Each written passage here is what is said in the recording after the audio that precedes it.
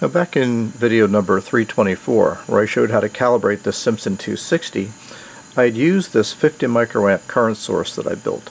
And I had mentioned that I'd use a Wilson current mirror as part of this current source uh, to improve the stability of the 50 microamp current regardless of the burden voltage presented by the meter.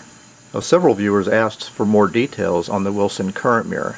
Now before we can actually get into that, we need to just review um, current mirrors and output impedance and something called the early effect or the early voltage before we actually talk about the benefits that the Wilson current mirror delivers.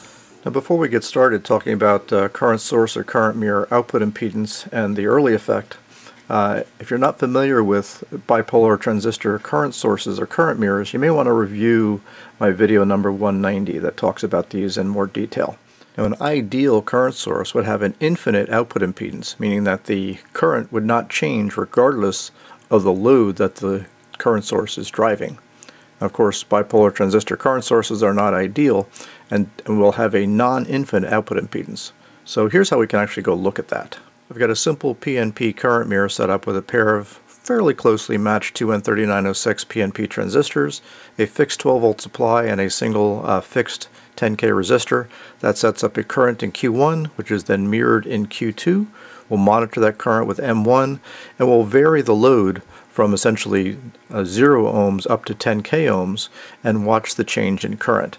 Now we expect this current to be uh, just a little over 1.1 milliamps or so because we have 12 volts minus about 0.7 volts. That puts uh, the voltage across the 10K resistor to be about uh, 11.3 volts divided by 10K that would be about 1.13 milliamps. With the potentiometer dialed up to 10K, we can see the voltage across uh, the potentiometer is about uh, 11.3 uh, volts like we expect, and our current uh, 1.11, 1.12 milliamps uh, like we expect.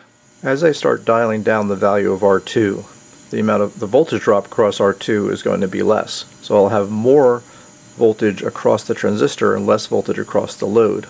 Then we'll start dialing down R2 and we can see the voltage going down. You can see the current though starting to increase. So I'm down to, let's bring it down to, oh, about uh, 5 volts or so here. And at about a 5 volts across that resistor, I'm up to 1.3 milliamps. I keep going down to the point where I shorted the resistor out. I essentially have no voltage there. So I've got that full 11.3 volts or so appearing across the emitter to collector of Q2 and now I'm at 1.54 milliamps. So I went from 1.1 milliamps to 1.5 milliamps just by changing the load on the current source. Not a very ideal current source. And this is all due to something called the early effect. So let's take a look at what that is. Now this is typical of the collector current characteristic curves for a PNP transistor like this 2N3906. And uh, most people aren't used to looking at curves in the in this kind of negative fashion because this is a PNP device. We do have the ability of inverting that on the uh, curve tracer. Let's do that first. Now this is the format that most people are used to seeing for the characteristic curves of a bipolar transistor. Uh, the axis here, this is a collector emitter voltage going this way, and this is collector current going that way. And each of these curves is at a constant base current. Now ideally what you would see at a constant base current, you'd think, well, I want to have a constant collector current regardless of VCE. But you can see that's not the case. There's a little bit of a tilt to these curves, which means that beta effectively is not continuous or constant versus VCE. So the slope of this line is effectively giving us a hint to the non-infinite output impedance of the collector.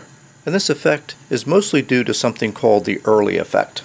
The early effect basically says that as the collector to emitter voltage increases, that effectively reduces the base width in the transistor, which changes the amount of collector current that you get. So in effect, the slope of this line, which is voltage versus current, is in effect measuring the output impedance of the collector. The early effect is typically specified as in the transistor as something called the early voltage. If the characteristics of curves are plotted with a constant base emitter voltage as opposed to a constant base current, each of those lines or curves will extrapolate out to a single point called the early voltage. It's a little tricky to set that up on a uh, transistor curve tracer like this, but we can kind of uh, mimic that effect just a little bit here by driving a constant voltage and I can just adjust my multiplier here. So we can, if we extrapolated out these curves, they'd all extrapolate out to a point way out over here that would actually be the early voltage for this particular transistor.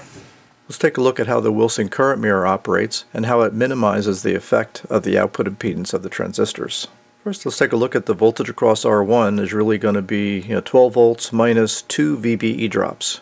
And these are essentially constant, so therefore I've got a constant voltage of 12 volts minus 2 VBE across R1. So that sets up a constant current in R1, and that's effectively a constant current going through Q1. With that constant current in Q1, setting up a base emitter voltage on Q1, that base emitter voltage is going to be the same on Q2 because they're connected to the same points. So now I'm going to have the same collector current flowing in Q2 as I am in Q1. Again, if we ignore the base currents, that same current going through Q2 is also going to flow through Q3. So the current flowing through Q3 is really set up by the currents that are in Q1 and Q2. So regardless of what I do to the load here, the Q3 collector current really can't change because it's essentially just passing through the Q2 collector current. So therefore the transistors that are actually being or setting the constant current are not going to be affected by the output impedance of Q3. The Q3 is always going to provide that same current. So let's modify uh, the circuit on my breadboard here to build the Wilson current mirror and measure how good uh, its output impedance is. So with R2 dialed up to 10K, I'm seeing about 10.62 volts across that, uh, that load resistor. So therefore the collector emitter voltage is quite low and I'm seeing about just over a milliamp, 1.04 milliamps of collector current. Now let's start dialing down R2 and watch the, the collector voltage drop, uh, the voltage across R2 drop. So now I'm down to oh, about 5 volts across the load resistor. I'm still looking at 1.04 milliamps. Let's keep going all the way down to zero. Even at zero volts, I'm still at 1.04 milliamps. So we had seen a fairly large change in the collector current with just the two transistor current mirror. But by adding one transistor for this Wilson current mirror, I can now have this you know, 10 or 11 volt change on the output of Q3 and virtually no change in the output current. So this Wilson current mirror truly has come to the rescue and given us a very high output impedance uh, regardless of the load being applied to that current source uh, we essentially maintain that same current value. So I hope you learned a little something about the early effect in bipolar transistors and the early voltage that's used to characterize it, and uh, how that affects the output impedance of something like a current mirror, and then how simple tricks like this Wilson current mirror can be used to effectively deal with that finite output impedance of the transistors and give us a very high output impedance near ideal current source from a couple of transistors. If you liked the video, give me a thumbs up. If you haven't subscribed to the channel already, please consider doing so. And thanks again, as always, for watching.